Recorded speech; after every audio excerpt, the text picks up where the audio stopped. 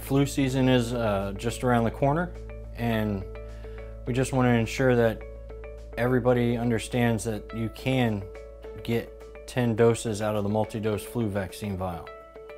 And we're going to visit a couple practices to ensure this happens. We're going to put on proper PPEs, set of gloves. Once you have gloves, you're going to obtain the vial. You're going to ensure the five R's to administer a medication for injection. You will begin by taking the top off of the multi-dose vial. Use one alcohol pad.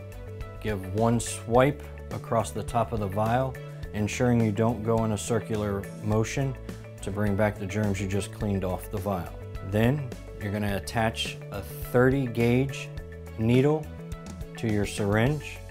Once you have attached the 30 gauge needle to the syringe, you're going to go ahead and have the vial placed on the countertop, level surface. You're going to withdraw the 0.5 mLs of air.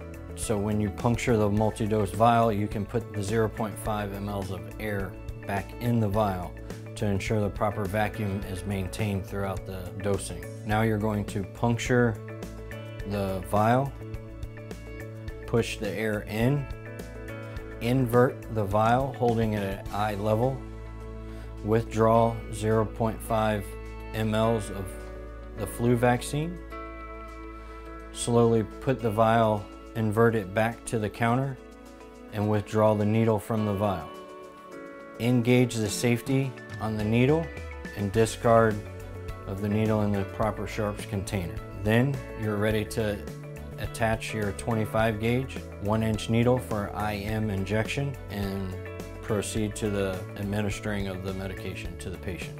Once you've administered the injection to the patient, ensure that you use the Beyond Use Date sticker that is company provided for multi-dose use vials.